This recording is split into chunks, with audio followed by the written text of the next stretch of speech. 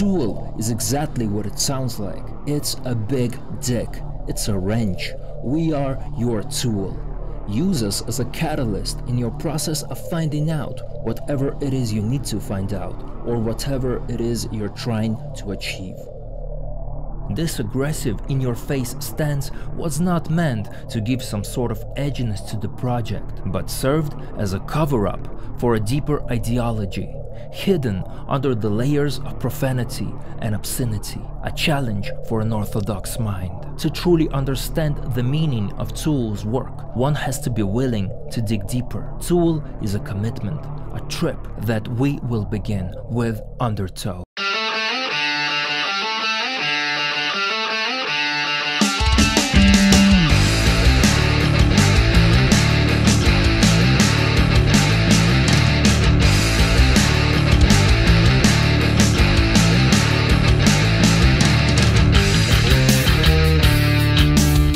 Co-producer of the album, Sylvia Massy, gave up a chance to work with Prince in favor of Tool, as she realized that this band was important and Undertow would be their breakthrough record. Sylvia had a significant effect and creative input into the recording process of the album. She knew that Tool was a great live band, so her goal was to keep that same energy on the record.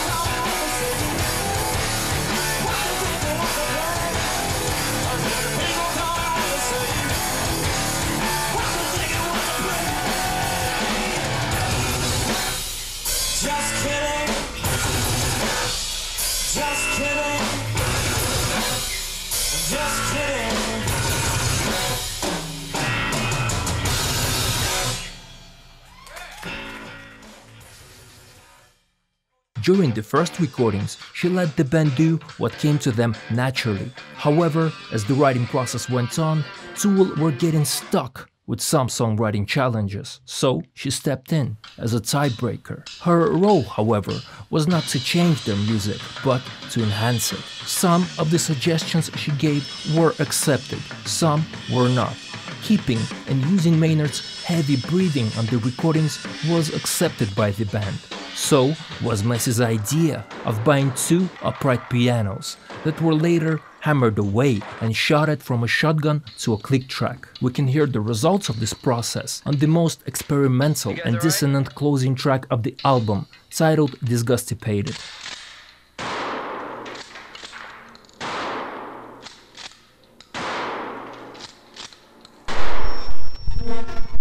However, her suggestion to decrease the length of the opening track, Intolerance, was met with less enthusiasm. On the same track, Adam Jones used a vibrating Epilady hair remover to achieve those wild guitar noises. Also, while recording for this album, Jones was playing through a vintage 1976 Marshall Super Bass Head, which played an important role in his distinctive guitar sound. And to prolong its life, stored in the fridge when not recording. Drummer Danny Carey seems to have been fascinated with sacred geometry already at the early stages of Tool, though it's unclear if he applied this ideology while playing on the record. He had a pentagram on the wall behind him while recording at the studio. Perhaps the setup of his drum kit was based on sacred geometry principles.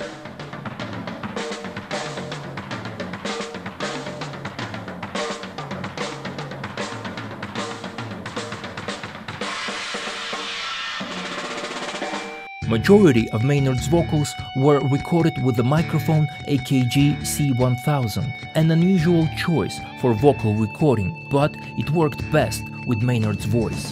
C1000 is a condenser microphone, so it's naturally quite sensitive. Regardless, Maynard recorded handheld due to his animated style of performance. For this reason, the microphone had to be wrapped in foam and duct tape to reduce the handing noise and for the more intimate passages, microphone Neumann U67 was used. But voice recording troubles didn't end with just the gear choice. In one of the recording sessions, Maynard struggled to deliver one of those 10 second screams. So Sylvia told him to go outside and run around the block five times. This made Maynard furious. But when he returned to record after the run, his best vocal takes were delivered, thanks to the genuine anger and frustration in his voice.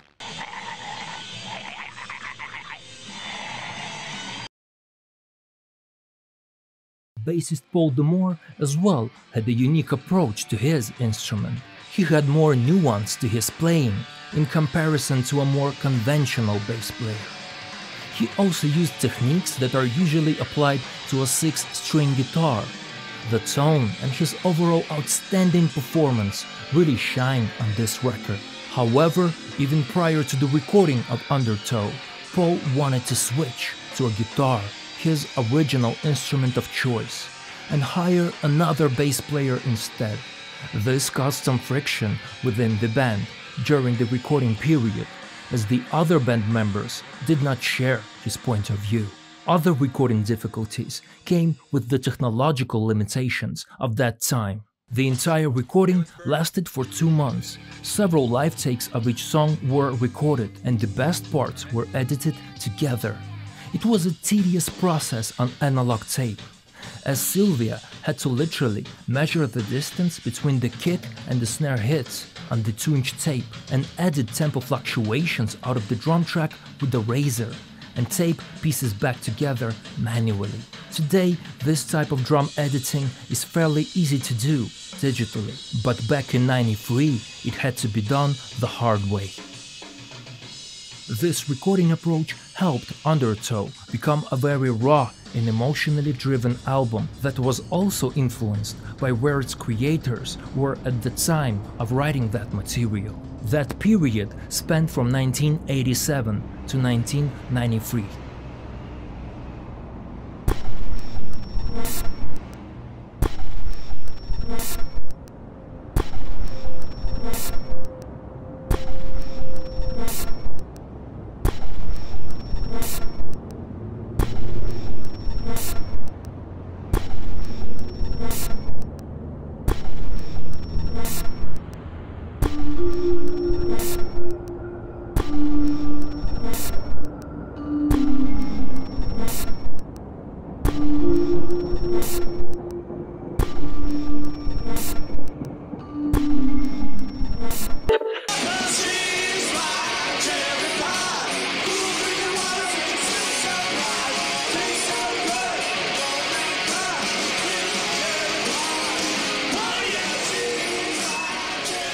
Hollywood is where Maynard James Keenan realized that entertainment industry was full of hypocrisy, something he learned during his time as a set constructor. Superficial and self-consciously decadent hair metal scene of Los Angeles added even more fuel to the aggression and themes of the album's music.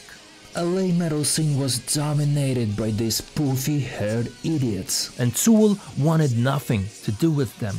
So, they invested themselves into the thriving underground scene of LA that felt more worthwhile.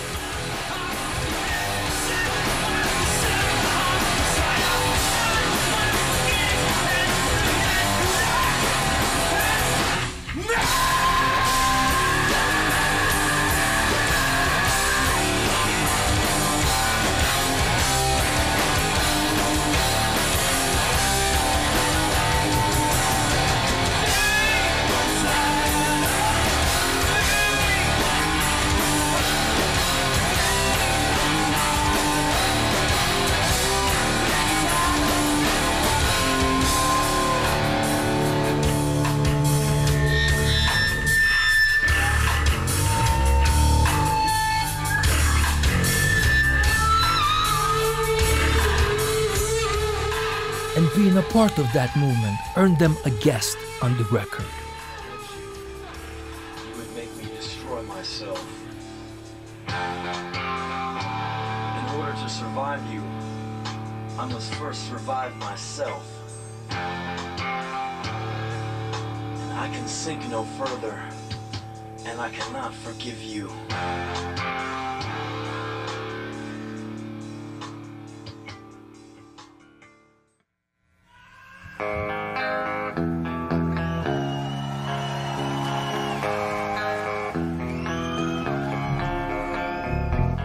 Hair metal scene was soon removed from the spotlight by the grunge movement that Tool had somewhat more in common with. Both were more aggressive and expressed alienation in their lyrics, but grunge lacked Tool's complexity and nuance, both musically and lyrically. And while Tool had a considerable amount of technicality to their music, very much like grunge, they managed to infuse each track with a hook that made their efforts more accessible. More importantly, grunge has gotten so huge that it became a big part of pop culture, and leading faces of the genre became the center of attention. A cult of personality was very much present in grunge, as much as in any pop culture phenomenon something that Tool protested by not appearing in their own music videos. However, due to the pressure from their record label, Tool members had to make an appearance in their very first music video for single Hush and briefly appear in the following music video Sober, in which their faces could not be seen clearly, and their presence was not the focus of the video, but merely an addition.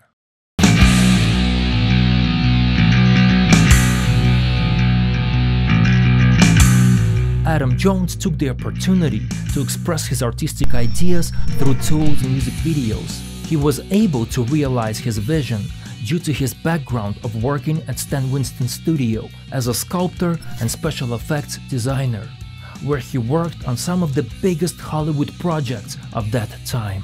Adam designed props and had creative input for the band's music video Sober, the first single of Undertow. Second music video for Prison Sex, Adam directed himself. Both videos featured a stop motion technique that used models created by Adam with some help from his former colleagues. Sober became a hit single by March 1994 and earned Tool's first award, Billboard's Best Video by a New Artist.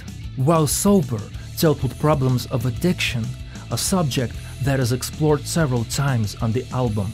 Prison Sex did not reflect its title exactly, as most of Tool's work. The title was misleading. The song instead dealt with the subject of child abuse, more precisely with the cycle of abuse, meaning that abusers often are the abused.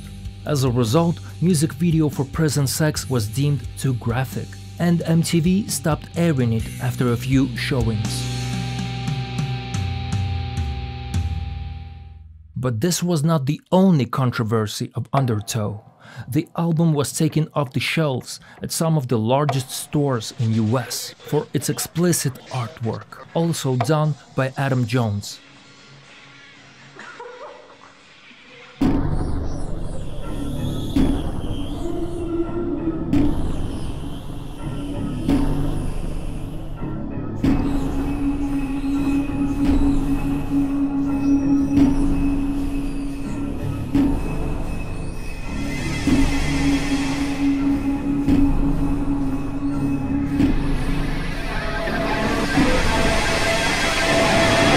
Result, the album's artwork had to be changed. The cover was replaced with a barcode and was accompanied by a note from the band. It came to our attention recently that many stores across our fine and open minded nation would not stock Undertow because of our explicit artwork. Although we loathe being censored, we want your money.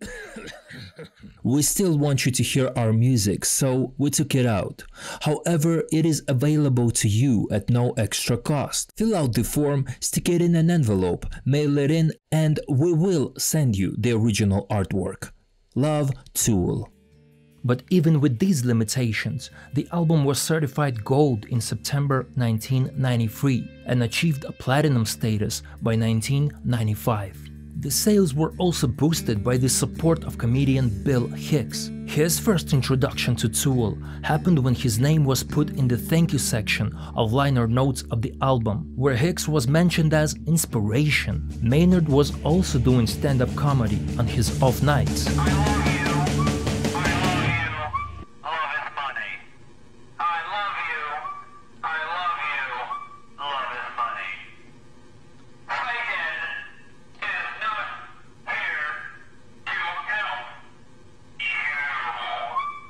The band overall shared a similar worldview with Bill Hicks. As a result, at the last concert of Lollapalooza in Tool's hometown, Hicks did the honor of introducing the band. This significantly helped their publicity and album sales.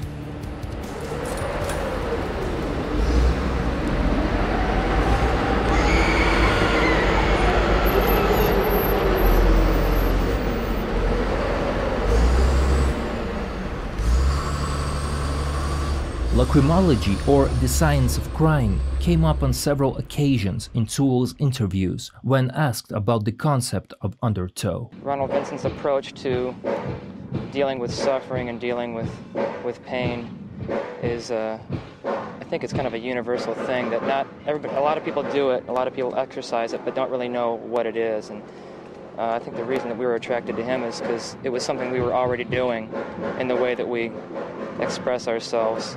And he just kind of had a word that described it, and it was kind of a, an enlightening thing to have stumbled across someone who's been writing a book about something you've been doing all your life. Kind of laid out a whole process for it. Adam actually discovered lachrymology about a year before I met him in LA.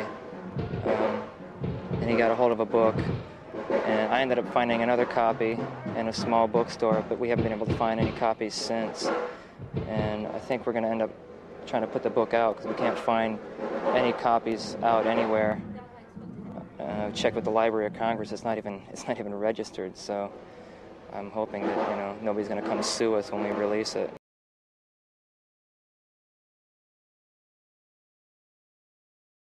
As for the rest of the tracks that were not released as singles, they dealt with a wide spectrum of issues apart from substance abuse, self-confrontation and confrontation of others, abusive relationship and perhaps human nature. According to Maynard, the song titled 4 Degrees comes from the fact that the anal cavity is 4 degrees warmer than the vaginal. However, the song is not of sexual context but speaks of opening up emotionally. Track titled Flood may even have biblical implications of a person turning to religion at the time of desperation, which ultimately fails them.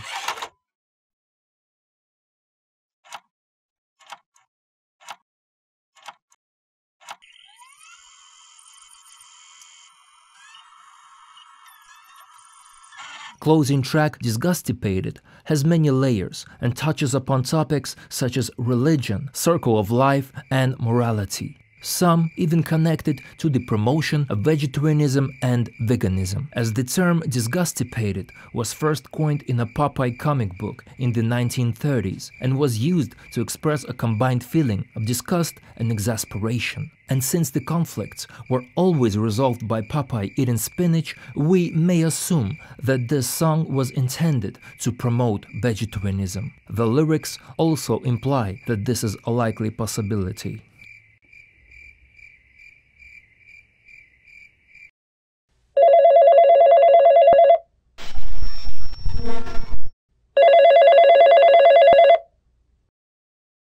Hello, no one is available to take your call. Please leave a message after the tone.